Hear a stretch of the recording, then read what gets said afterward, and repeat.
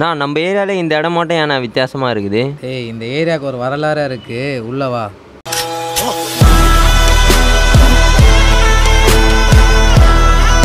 நான் இங்கே என்னென்ன இருக்க போகுது? டேய் உள்ள போய் ஃபர்ஸ்ட் பாடுறா.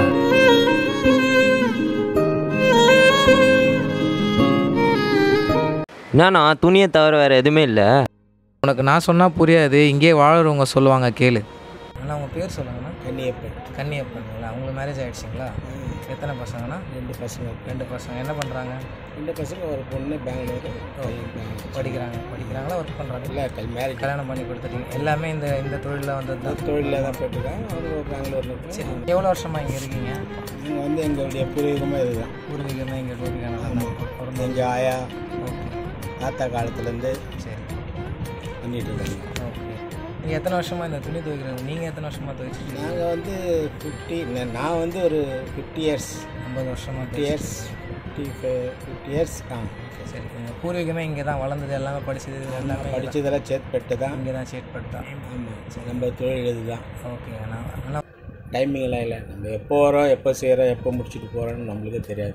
வேலை முடிஞ்சுதா நைட்டு பத்து மணினாலும் சரி பதினொன்று மணியும் சரி ஒம்பது மணியும் சரி வேலையை முடிச்சுட்டு நம்ம போகிறோம் போகிறது தான் மற்றபடி உங்களுக்கு என்டர்டெயின்மெண்ட் அந்த மாதிரிலாம் எதுவுமே கிடையாது. என்டர்டைன்மெண்ட்டெல்லாம் நம்மளாக தான் அது நீங்களே பார்த்து பார்த்து பண்ணிட்டு போக வேண்டியது இப்போ பிரச்சனை இந்த மாதிரி அந்த தண்ணி வசதிலாம் இருக்கா உங்களுக்கு? துணி துவைக்கிறதுக்கு எல்லாமே?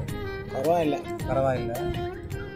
பரவாயில்ல. வேறு யாராவது வந்து பார்த்துக்கிட்டு எதுவுமே ஹெல்ப் பண்ணி சப்போர்ட் பண்ணல யாரும்? அதெல்லாம் சப்போர்ட்லாம் இங்கே யாரும் இங்கே யாரும் எதுவும் பண்ணது கிடையாது. பண்ணித்தரேன்னு சொல்கிறாங்க இன்னும் எதுவும் பண்ணுற மாதிரி தெரில ஏன்னா வந்து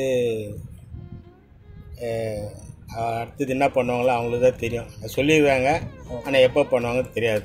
சரிங்க சரி. சில வசதிகள்லாம் பண்ணி தரேன்னு சொல்லிக்கிறாங்க சரிங்க இப்போ சேட்பட்டில் இது வந்து இருக்கிறது நம்மளுக்கு ஒரு பெருமையான விஷயம் ஆமாம் கண்டிப்பாக இப்போ உலகத்துலேயே வந்து ரெண்டாவதா? ரெண்டாவது. ரெண்டாவது. நம்ம இந்தியாவிலே இந்தியாவிலே ரெண்டாவது சாரி ஃபர்ஸ்ட் வந்து கல்கட்டா ரெண்டாவது வந்து நம்மளுக்கு அது நம்மளுக்கு சென்னை பெருமை சென்னை. சென்னை பெருமை. அது சேட்பட் நம்ம ஏரியாவுக்கு அது ஒரு பெருமை. நம்ம ஏரியாவில் மட்டும்தான் இது இருக்குது சரிங்கண்ணா ரொம்ப தேங்க்ஸ் என்னண்ணா இந்த தாத்தா இவ்வளோ விஷயம் சொல்கிறாரு இந்த இடத்த பற்றி இந்த தாத்தா சொன்னதை மட்டும்தான் எனக்கு கேட்டேன். இங்கே இன்னொரு பாட்டி இருக்காங்க அவங்க சொல்கிறதையும் கேளு.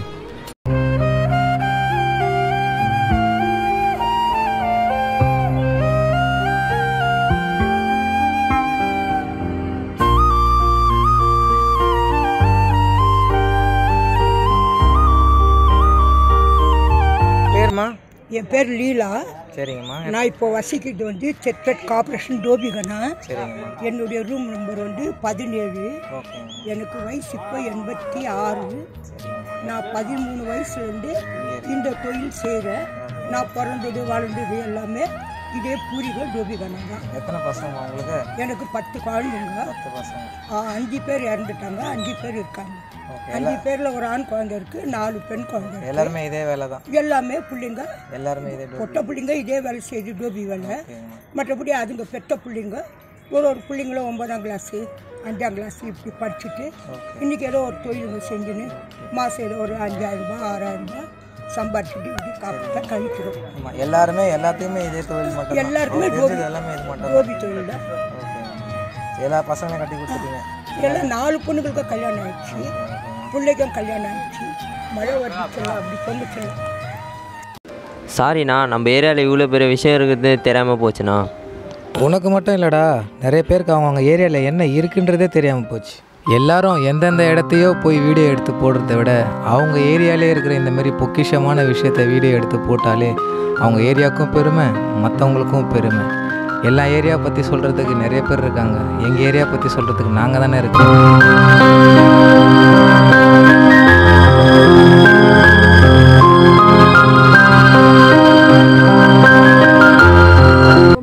சேனலை பாருங்க சப்ஸ்கிரைப் பண்ணுங்க.